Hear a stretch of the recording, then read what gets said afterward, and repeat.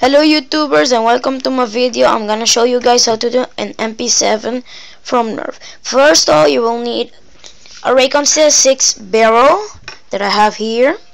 You have to put a stick in it and paint it if you want to.